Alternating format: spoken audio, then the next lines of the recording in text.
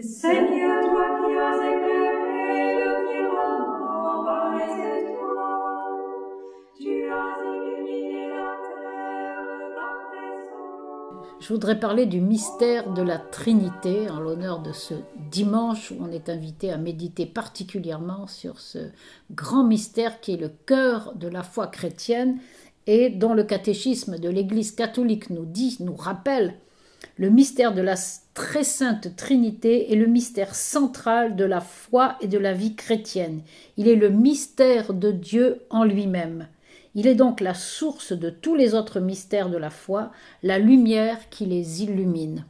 Alors c'est sûr qu'un dimanche, pour parler de la Trinité, évidemment ça ne suffit pas, mais c'est un rappel après la grande fête de la Pentecôte, le rappel du cœur de notre foi, qui est je crois en Dieu, Père, Fils et Saint-Esprit. Alors, c'est un grand mystère. Et je voudrais redire que euh, les mystères, c'est pas quelque chose que Dieu a inventé pour qu'on n'y comprenne rien, c'est exactement le contraire. On n'a jamais fini d'en comprendre le sens et de s'en émerveiller. Voilà ce que dit Benoît XVI à propos du mystère. Dieu n'est pas absurde, mais il est un mystère.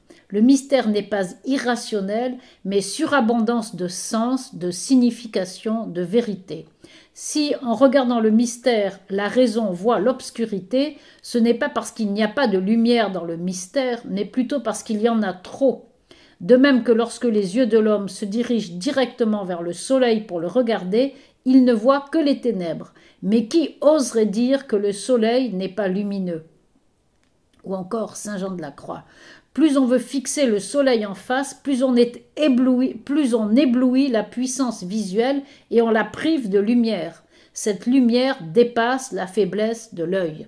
La gloire de Dieu dépasse notre intelligence purement humaine. Le mystère de la Trinité nous dépasse infiniment, mais Dieu nous donne quelques rayons pour nous en réjouir avant d'en vivre pleinement dans la vie éternelle, dans la vision béatifique. Ces quelques rayons que le Seigneur nous donne, euh, qu'on a pu contempler par exemple à la transfiguration, c'était annoncé dans un petit passage du Cantique des Cantiques où il est question du bien-aimé, hein, du rapport au bien-aimé, euh, qui est le bien-aimé dans nos vies. C'est le chapitre 2 du Cantique des Cantiques.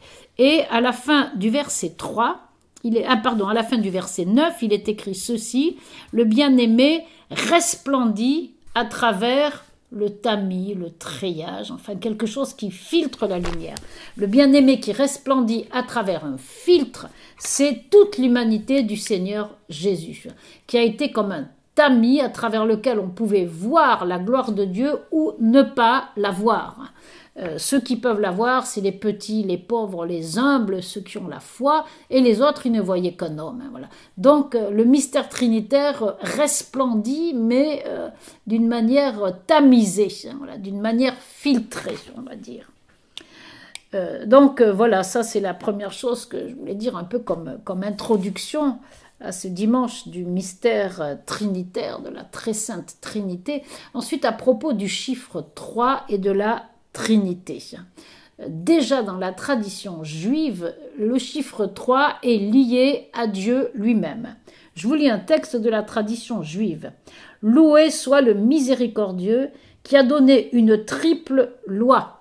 Parce que la Torah, il y a trois parties pour les juifs, la Bible. Hein. C'est-à-dire, vous avez la Torah, les Nevim, ça veut dire les prophètes, et les Ktuvim, ça veut dire les écrits. Donc, béni, loué soit le miséricordieux qui a donné une loi en trois parties, hein, une triple loi un triple peuple, parce que les prêtres, les Lévites et le peuple d'Israël, par l'intermédiaire d'un homme qui était le troisième enfant, hein, Aaron, Myriam et Moïse qui est le troisième. Et ceci l'a donné le troisième jour du troisième mois. Hein, c'est Exode 19, 16. Donc vous voyez, hein, le chiffre 3 euh, est quand même lié à quelque chose qui nous rapproche de Dieu ou qui nous rappelle Dieu. Euh, dans les Écritures elles-mêmes, alors euh, très rapidement, hein, Genèse 1, vous avez Dieu qui est trois déjà, hein. vous avez au commencement Dieu créa le ciel et la terre, Dieu créateur tout-puissant, ensuite vous avez l'Esprit de Dieu qui couvait les eaux, l'Esprit Saint, et ensuite Dieu dit, donc Dieu parle, donc Dieu a une parole, qui est le Verbe et qui est son Fils. Voilà, donc Dieu trois. Euh, ou encore, vous avez en, Genèse, toujours la Genèse, euh, chapitre 3 au verset 8, hein, quand Dieu descend pour rejoindre l'homme, il est dit que, alors attendez, ils entendirent la voix du Seigneur Dieu qui se promenait, qui allait et venait dans le jardin au souffle du jour. Vous avez le Seigneur lui-même, sa voix, sa parole, le Targum, c'est-à-dire la traduction commentée juive, dit ils entendirent la voix de la parole de Dieu qui allait et venait dans le jardin au souffle du jour. Alors voyez bien, vous avez le Père, le Fils et l'Esprit Saint. Et il y a euh, pas mal d'autres endroits. En tout cas, Dieu qui va par trois, hein, je vous rappelle le chapitre 18 de la Genèse, où euh, Abraham voit trois anges et il en adore un seul. Genèse 18, euh, verset 2, Abraham leva les yeux, il vit trois hommes qui se tenaient debout près de lui, et au verset suivant, il dit Mon Seigneur. Il en voit trois, il en adore un. Annonce du mystère trinitaire. Et puis quand Dieu se présente à Abraham au buisson ardent, je suis le Dieu d'Abraham et le Dieu d'Isaac et le Dieu de Jacob. Ou encore hein, l'invention du sanctus hein, dans le prophète Isaïe, où les anges chantent à tue-tête Saint, Saint, Saint le Seigneur, etc., etc. Donc le mystère trinitaire a bien entendu des sources scripturaires. C'est pas tombé du ciel. oui, c'est tombé du ciel, mais pas comme ça. Il y a toute une préparation pour expliquer euh, le lien entre Dieu et trois. Et puis le lien, pour qu'il y ait communion, hein, évidemment, il faut qu'il y ait un lien entre des personnes, etc. Mais je ne suis pas théologienne. Alors, je, parle un petit peu de la euh, première lecture, où vous avez aussi, bien sûr, une annonce du Dieu trinitaire. Vous avez, en ces jours-là, Moïse se leva de bon matin, il gravit la montagne du Sinaï, comme le Seigneur le lui avait ordonné et ensuite le Seigneur descendit dans la nuée. Alors, euh, le Seigneur qui parle à Moïse, c'est Adonai, c'est le Dieu Tout-Puissant, c'est le Dieu qui s'est révélé à Moïse, hein. c'est celui que nous adorons comme Dieu Père, lui qui, d'après le Midrash, a pris la voix du papa de Moïse pour lui parler. Hein, quand Dieu lui a dit Je suis le Dieu de ton père, Dieu avait pris la voix de son père pour lui parler. Donc Dieu Père, hein, Adonai, Dieu Tout-Puissant, Dieu Père créateur du ciel et de la terre. Ensuite, euh, vous avez le Seigneur qui descend.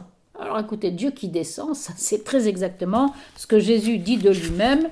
Euh, par exemple, dans l'évangile selon Saint Jean, euh, au chapitre 6, au verset 38. Je suis descendu du ciel pour faire non pas ma volonté, mais la volonté de celui qui m'a envoyé. Dieu qui descend, nous le connaissons, nous l'avons vu, nous l'avons contemplé, nous en vivons. Et il descend dans la nuée. Extraordinaire. La nuée, c'est toujours lié à la présence du Saint-Esprit, vous le savez, on en a déjà parlé. Depuis euh, l'histoire de l'arche de Noé, euh, ou plutôt du premier arc-en-ciel, euh, Genèse 9, 12.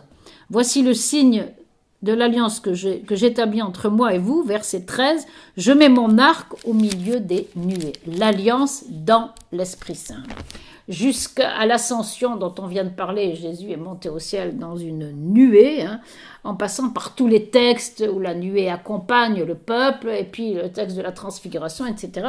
Donc vous voyez que dans cette première lecture, vous avez déjà des allusions voilées, certes, mais voilées au mystère trinitaire.